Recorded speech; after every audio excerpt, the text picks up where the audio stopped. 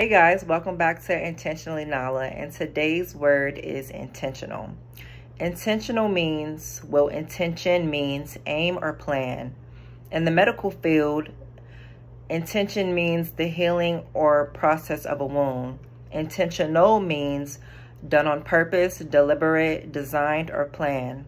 In the metaphysical realm, it means pertaining to an appearance, phenomenon, or representation in the mind or pointing beyond itself as consciousness or a sign. So I have my notes here as usual that I'm going to read to you guys. So no one wants to live a meaningless life. I feel like at some point in our lives, we try to find the reason why we're here or our actual purpose. And if we haven't discovered our purpose, I think the next big thing we can do is at least move towards our purpose or even move with purpose. Why are you doing the things you are doing? Just because you haven't discovered the reason for your existence doesn't mean you can't move towards it. Who are you at your core? Do you even know? I ask you that because I hope that if you've come across this video, you've at least discovered yourself in Christ, like you know who you are in Christ, as in recognize that he's your father and that you have an inheritance. If you don't know why you're here, the least you can do is know who God says that you are.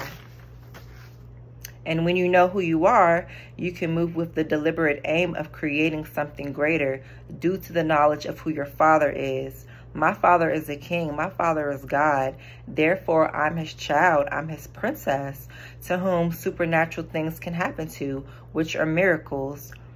I'm part spirit just as my father is in the spiritual.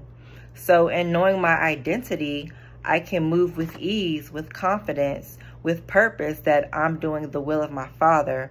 Just like Jesus, I'm about my Father's business. What are your intentions? They should be about your Father's business. What is the purpose in moving with how you move? It needs to be about your Father's business. Always representing your Father. So move intentionally in love. Move with purpose, with mercy, and with grace. Like, what are your intentions? What is your heart truly saying? So we're going to do a heart check. Time for a heart check. What are your true intentions with um, talking to people, with involving yourself in certain affairs? Is it for your own gain or for the kingdom of God, for your father's business? Examine yourself and examine your heart posture with everything that you do. Be real with yourself. God already sees the thoughts of his children. He made your eyeballs, so how can he not see? The least you can do is be real with yourself and examine your intentions. All right. Until next time.